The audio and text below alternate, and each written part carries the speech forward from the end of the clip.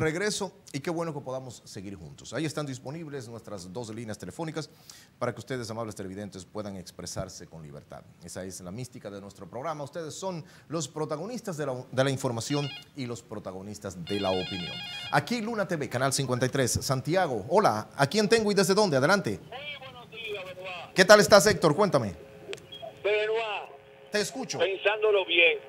Benoit, si aquí no hay garantía ni para darte el dinero de tus prestaciones. Benoit. Pero nadie cae ni siquiera en investigación. Inmobiliaria está controlada por la, por la Suprema Corte, bebé. Por la Suprema Corte. Y de ahí salen títulos falsos por encima. Óyeme bien. Óyeme bien. De ahí mimito. Y el gobierno no investiga nada. ¿Quién quita que después que uno compre cualquier vivienda o financie, después te salgan con que un coronel, un general o un político tiene tu título y, y- y es de él? Como los apartamentos que daba Balaguer, lo dio el Estado. Que aparecían El que no tiene de título dueño. lo vive, pero cuando viene a ver... Era, era teóricamente de alguien, otro. Si te moriste, nada más queda tú o cualquier cosa y querés sacar la mala con Ay. la policía, aunque no sea de él. Pero no hay respeto. Eso va a seguir ocurriendo, Héctor, hasta que aparezca uno y siente un precedente. No hay que ser agresivo. Nadie tiene que armarse, nadie tiene que sublevarse. Basta y sobra con conseguirse un buen abogado que conozca de este tipo de derecho y llevar hasta las últimas consecuencias y sentar en el banquillo de los acusados a todo responsable o corresponsable, incluyendo posibles jueces que incurran en firmar algo que saben que no pueden o no deben firmar. Nadie puede decir, nadie puede eh, sustentar que realice este tipo de transacción o de firma de documento sin conocer lo que está haciendo. Oye bien, todo aquel que firma este tipo de situaciones sabe lo que está haciendo y sabe a lo que se está arriesgando. Cuando se siente un precedente ah, y que se dé a conocer en toda la prensa a nivel nacional, estás seguro de que eso va a cesar. Saludos cordialísimos. Esto es Dígame Usted. Aquí Luna TV, Canal 53, Santiago. Buenas tardes, Benoit. Hola, Carlos. Buenas tardes a la República, a la República Dominicana. Carlos, desde Filadelfia. Ah, un honor escucharte. Nosotros, nosotros los dominicanos tenemos que hacer una, una campaña. En todas las casas tenemos, la- eh, tenemos que poner una bandera blanca o un, o un calzoncillo o un, o un panty. Ay, para que la, la gente de la maldita, la, la, las grandes compañías no sé, nos puedan abandonar un poquito la, la opresión que nos tienen, el robo que nos están metiendo toda esta gente, a la familia de los Bermúdez y esa gente, a los, a los Vicini que nos suelten un poquito, por favor suelten el pueblo dominicano un poquito, Vean, si se van a ganar 100, nada más ganen 75 en estos dos o tres años, no roben tanto, porque ¿qué están robando tanto ya no están descarados, que no tienen vergüenza ninguno, van una carrera de ladrones, papá, para que el Ay, presidente de la República, la misma vaina que tienen ellos de, montado desde los 96 años. Dios mío, que señores Bermúdez y, y, y, y la gente de los, de los ricos de Santiago, suelten un poco el país, suéltenlo, no Pero- se roben tanto. Pero Carlos, adivina o recuerda cuál fue la primera casa donde el presidente vino a cenar tan pronto ganó. Fue a la de Manuel Estrella. Adivina a quienes asignaron las obras del monorriel y del teleférico. Yo le he dicho al pueblo que Abinader es más malo que Leonel y que Medina juntos. Ay, santísimo. Lo hunden a los dos y no sacan la uña de Abinader. Tú no dices que la mujer dijo que ustedes no conocen a Abinader. Ay, sí, fue verdad que lo dijo. No sé qué quiso decir, pero fue verdad que lo dijo. Ay. no conocen a Abinader. Ese es un traidor. Ay. Ese es un traidor. Ay, ¿y por qué dices eso del presidente? Bueno, un abrazo, Carlos, eh, regado eh, en lengua de sable de Tocayo allá en Filadelfia. Presidente, ya se le está viendo el que no debe versele, señor presidente.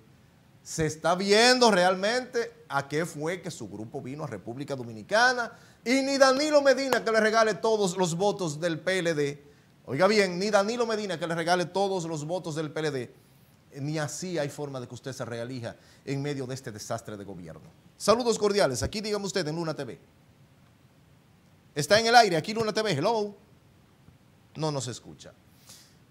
Mire, si el Partido Revolucionario Moderno, que no creo que como partido esté realmente conforme, piensa que va a contar con votos del PLD, recuerden que el favorito para ser candidato del Partido de la Liberación Dominicana es actualmente el licenciado Abel Martínez, miembro del comité político de dicho partido, exitoso alcalde de Santiago. Vuelvo y les digo, atención, aprendan a gobernar de manera correcta, aprendan a conectarse con el pueblo, porque si están contando con los votos del Partido de la Liberación Dominicana, siendo eventualmente Abel Martínez el candidato a la presidencia del opositor PLD, van a pasar la sorpresa histórica que no pensaron que iba a pasar tan rápido en cuatro años. Se los estoy diciendo de consejo, si quieren se llevan, y si no, bueno, pues no les espera algo distinto que salir del poder en el 2024 por hacer la actual maldad que está haciendo el gobierno de Luis Abinader a este pueblo. Vayan a las EDES, oigan cómo se expresa el pueblo de esta estafa con las EDES. El dólar alrededor de 52 y todavía, y el, oigan, el petróleo ya va para el suelo de nuevo y todavía le siguen robando impunemente a este pueblo pensando que la gente no escucha. Saludos cordiales, aquí Luna TV, Canal 53. Esto es Dígame Usted. ¿Cómo le va? Muy bien, muy bien.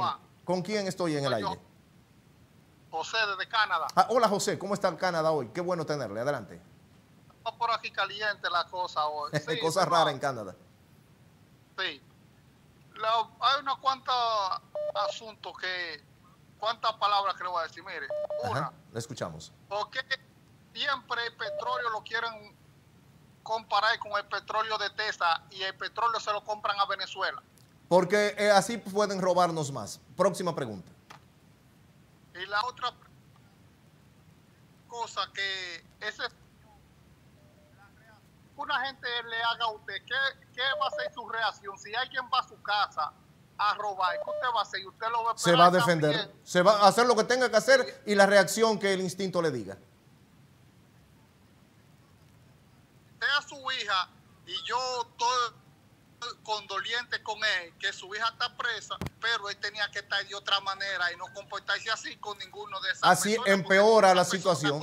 Así empeora la situación de la hija. Hay que entender la emoción, pero lo que estoy diciendo es que hay que aprender a manejarse y a usar los canales correctos de la justicia que siempre ponen las manos como buscar o buscan eh, o encontrar un bajadero. Imagínense, si a ese hombre lo matan, Dios libre, la hija va a tener un problema más grande que estar presa ahora. Sí, peor ahora. Y la otra Mire la cosa de todos estos robos y todas estas cosas.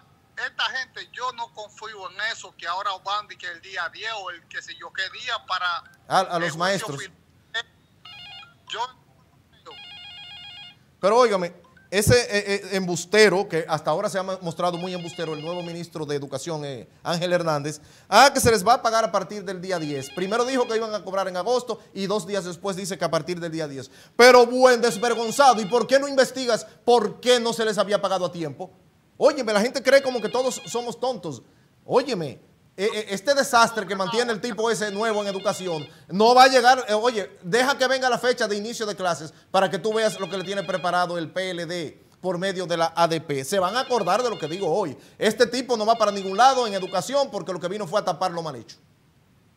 Claro, ese hombre son todos unos tapadores y no están haciendo nada. Luis Abinader, ninguno. Luis Cuatro años de fracaso en educación y eso no coge reversa. Y ni un solo preso por todo. Ahora, óyeme, cuatro mil y pico de millones intenta el presidente, la presidencia, robar prácticamente. Óyeme, el artículo 63 de la Constitución, en su numeral 10, establece que no se puede desviar ni un centavo de los fondos para la educación. Y piensan desviarlo, adivina, ¿a, a dónde? al Ministerio de Turismo, al Ministerio de Deportes y a Cultura. Ah, oye, robar, desviar ilegalmente dinero del, Ministerio de Educación, del presupuesto nacional. Y todavía doña Milagros Ortiz Bosch no dice esta boca es mía. Y todavía la PEPCA no dice esta boca es mía. Y todavía Antoliano Peralta, consultor jurídico del Poder Ejecutivo, no dice esta boca es mía. Y así es que cree realmente Luis Abinader y el PRM que pueden llegar con buen pie a 2024 y mucho menos intentar una reelección. Hágame el favor. Vamos a pasar a la pausa comercial, mi querido. Bueno, pues ya usted sabe, mi hermano, cuídese. por Un ahí. abrazo sincero para usted. Y tengo que decirlo con, con ira porque yo arriesgué todo por el todo para que este gobierno llegara al Palacio Nacional y vengan a salir con este tollo de corrupción. Hágame el favor. Saludos cordialísimos. Aquí dígame usted. Te escucho, Héctor. Óyeme bien, cuando yo digo que tú ganas, es porque veo la posibilidad. ¿Por qué te lo voy a explicar? Mira, hay más de 200 mil o 300 mil de la AFP disgustados. Un paquete de policía, pero muchos disgustados con sus pensiones, con la paga. Maestros, El que cañeros. que llegue y ofrezca que va a arreglar esto, que va a regularizar los sueldos de esos altos funcionarios. A los de la AFP, que esos chelitos se lo van a buscar. Tú no tienes que hacer mucho porque la clase pobre que, que está de Cocotá se le va a unir. Y esos PLDistas, esos de otros partidos, ninguno va para ningún lado, son cuatro gatos. El problema es que si dejaste que lleven los votos para la Junta para contarlo, ahí mismo se murió, porque el gobierno lo va a contar y usted, aunque tenga un millón, usted nada más sacó 50 mil votos. Y ese es el número que publicaría. Un abrazo, Héctor. Gracias ah, por tu ponderación.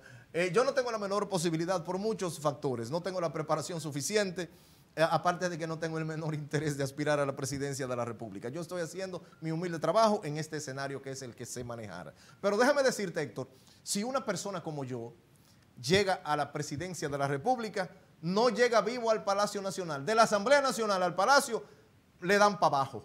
Anótalo. Una persona que piense similar a este humilde servidor de ustedes, si llega a la presidencia, lo matan entre la Asamblea Nacional y el Palacio Nacional para que no llegue vivo. Anoten lo que así sería. Brevemente pasamos a otra pausa comercial. De retorno, como de costumbre, estamos con todos ustedes a través de Dígame Usted. No se marchen, retornamos en un instante y aquí siempre hay mucho más. Dígame, dígame, dígame usted.